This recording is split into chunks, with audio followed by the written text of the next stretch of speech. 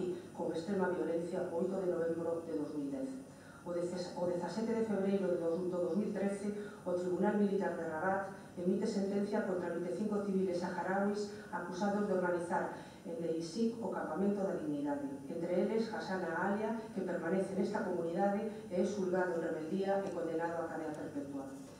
Múltiples foron os organismos a nivel internacional que denunciaron públicamente e de forma unánime que o procedimento seguido no suizo deste Tribunal Militar non cumpría as garantías mínimas para considerarlo un suizo susto porque as declaracións das persoas acusadas producíranse aparentemente baixo torturas, ademais de non poder presentar todas as probas que demandaron para demostrar a súa inocencia e por encontrarse actas policiais falseadas.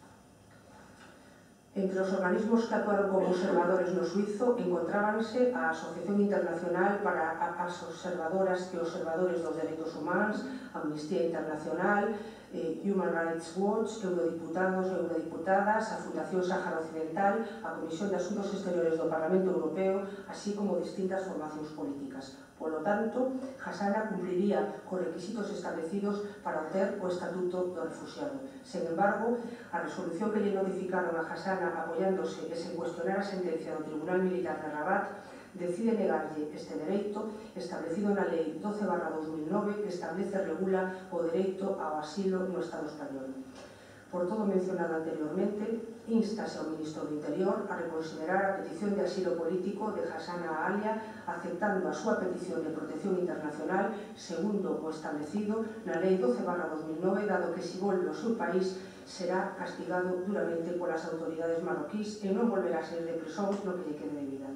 E elo porque é unha persoa activa politicamente de reconhecemento internacional que loita pacíficamente polo dereito de determinación do povo saharaui. Ben, unha vez feita esta lectura da declaración institucional, continuamos co orden do día. No punto